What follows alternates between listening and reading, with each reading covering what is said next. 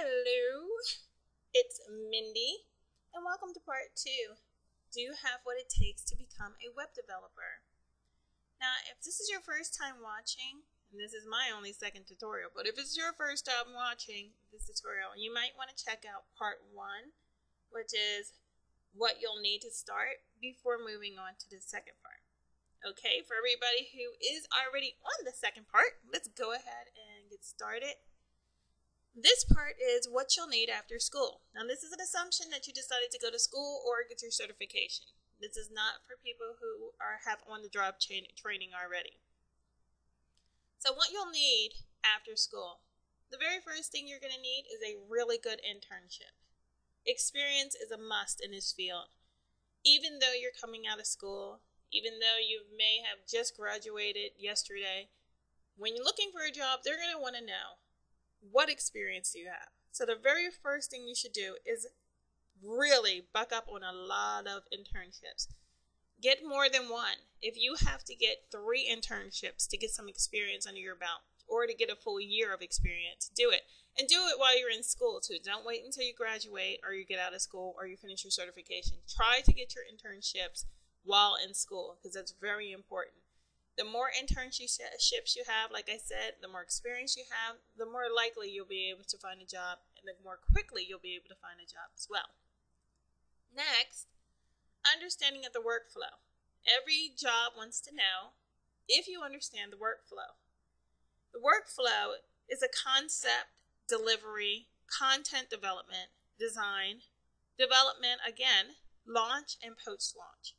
Concept is where the idea is created, Discovery is where you usually sit down and have a meeting and try to discover ideas and ways of creating that concept. Content development is when you decide to create the layout and get the information that's needed to have a good layout. Design is when you begin to design your template. Development is when you add functionality to the design and other aspects of the um, functionality to the website. Launching is when it's already completed and you decide to upload it to the browser or Internet Explorer or Firefox or whatever you want to call it. And then it's post launch. That's usually when you do a lot of testing to make sure everything's correct, correcting any bugs that you might have in, in your website, making sure you do cross browser um, um, cross browser testing so that you can tell whether or not the website is functioning in Firefox, if it shows the same way in Internet Explorer, and so on. So, having a good understanding of the website workflow will help your cause after school. Next, basic knowledge of databases. A database is a way of organizing data that's, that's then stored for later. For instance, you have an e commerce site, you have a lot of products. You have your products listed on a screen, you have customers that come in. You want a way to capture the customer's information and store it, and then retrieve it later on, as well as your order information. So, the most the easiest way to do that would be with a database. The quickest way to explain a database would be like a box. And your customers are the toys. You take the toys, you put the toys in the box, and you store them till later. Later, when you decide you want to play with your toys, you open the box and take them out. To take them out, you would query it. So to put them in, you would fill out a form, and the database would accept the information. To take them out, you would query your to take them out. So that's pretty much what a database is. Next, proficiency in several languages, basic languages. These are a must-have in in web development. I don't care where you go, what you do, you got to have these three. Even if you're not going to use all three of them in your job, it's very important for you to have them. The first one is HTML. HTML is the foundation of the web page. I'll get more into that, into details about that in my tutorials, my next tutorials, which will be HTML basics. But for right now, I'm just going to give you an overview.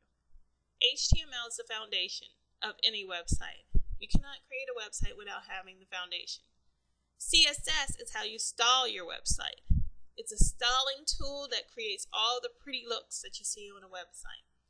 That is very important. Those two are going to be the main thing that any employer is going to ask you for on any job. And JavaScript. JavaScript is the functionality of the website. Things like clicking buttons and and filling out forms and rollovers and drop down menus and navigation. Those are all controlled by JavaScript. So it's very important that you have at least those three coding languages proficient before looking for a job. If you don't have them, there are some companies that will actually take you and try to train you and stuff like that. But in this economy, nobody really wants to train anybody. Everybody wants you to know everything right up front. Now, knowledge of some advanced languages is a plus on your side. This can get you a better foot in the door than just knowing the three basic languages.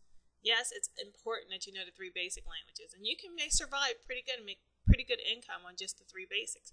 But to know some advanced languages like PHP, which was used to create Facebook, or Java, or Perl, ASP, VB.NET, which is Visual Basics.NET, or C pound, which is or pronounced C sharp, are very important as well.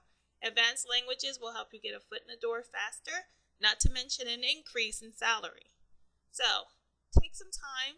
I know learning languages is not easy, Pick a language that you like. These were all object oriented programming languages, which I'll explain more about later in my tutorials. But you can choose a language that you're comfortable with. Go forth, learn that language, and then have a second advanced language or a third, fourth advanced language, how many ever you can learn under your belt. So when you go for a job, you'll be ready and you'll be more employable and you'll make a lot more money. So that's the end of my second tutorial. My next tutorial is on finding employment, which is super crucial when you're in this uh, field. You want to have a job, even if it's freelance.